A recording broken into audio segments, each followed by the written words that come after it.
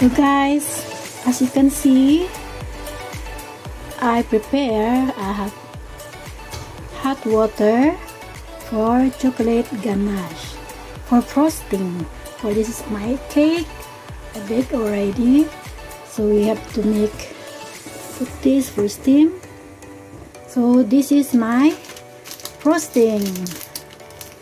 200 grams black chocolate. So we have to melt it. First we have to melt the chocolate and we have we have to add 100 grams milk and 1 tablespoon buttermilk unsalted or so. We have to wait first to melt it.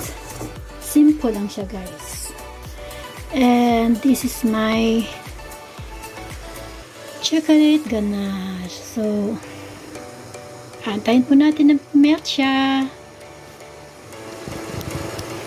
Para po ilagay natin mamaya sa top ng cake.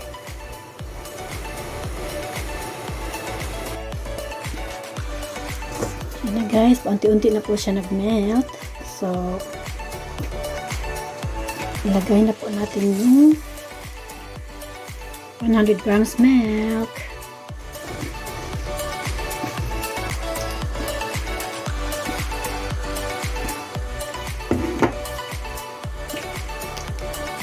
Tapos,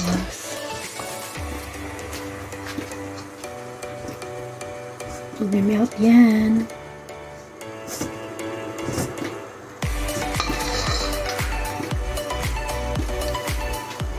Hintayin lang po natin. Mamaya-maya, i-add natin yung butter na unsalted butter.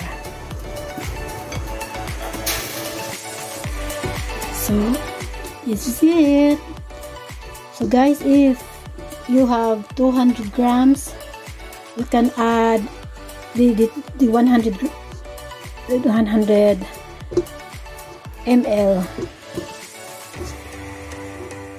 Milk is not enough. It's still a little bit. This one is good so I add additional milk full cream milk you know and then we have to add buttermilk for this is it. So that let's see.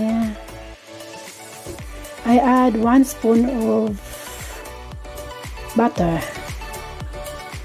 Now it's shine shine. Then your later on it's more it's shine It's yummy. So, uh, actually, I have two cake. Big po ako ng dalawang klaseng cake, guys. Yung isa, yung ginagamit ko is yung uh, flour. Yung flour na ginagamit ko, yung full, parang full, um, full corn yung isa.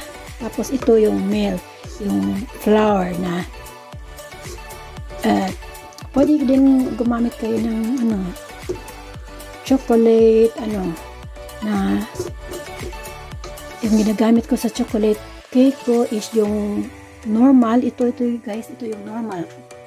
Yung isa na sa lalim pa, wala, hindi pa.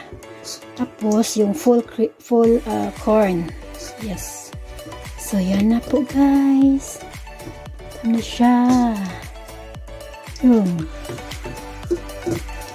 So, ilagay ito mamaya guys at ano, yung sa full cream na, ano, full, full cream, full corn. Yes, mamaya na.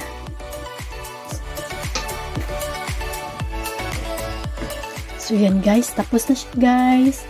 So, palamigin ko muna para mamaya ilagay ko sa cake. Okay. Nabalikin sa Guys, don't forget to like and subscribe to my channel kung di ka pa nakapa-subscribe and comment below so that I can visit also your channel. And please before you comment watch my video. Kasi may iba na nagko-comment na hindi pa alam ang ginagawa. So parang hindi naman maganda no? So yan. Tama na siya. So, like and subscribe. Thank you. Bye-bye.